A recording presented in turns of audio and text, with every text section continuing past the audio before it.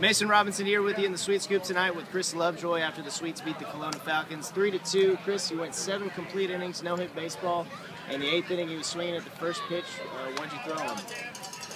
I threw him the changeup, and I just I just left it up a little bit. You know, left it down the part of the plate, and he just got a hold of it.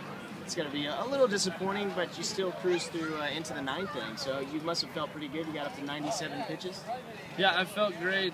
Um, even though I gave up that hit and ultimately gave up a run, you know, not getting the no hitter or getting a shutout, doesn't really bother me. I uh, ended up with the win. Bria ended up with the save, and the defense was solid tonight. So overall, just a great game. They started to rally. The Kelowna Falcons did. They scored twice in the ninth inning. Bria on the mound struck out the very last guy, and that's got to be a huge vote of confidence for you coming out of the game and then watching him seal out the win.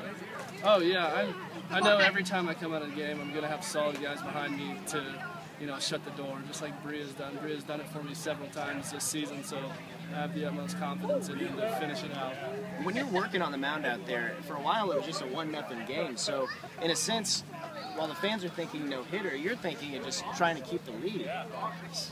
Yeah, you know, and ultimately, when you're when you're throwing something like a no hitter or a shutout, you really can't think about it because once you think about it, then it's over. You just got to think about giving your team a quality start and something they can work with to win. Does Jake Wiley's home run help you in any sense when you hit that home run to left? Oh yeah, that's huge. To get that extra run just makes it feel great. It uh, reminded me of my first outing when Kramer came back and uh, hit a home run after I gave up a run. And it's just great to know the bats are behind you also and just they'll put runs in. All you gotta do is keep the other team down.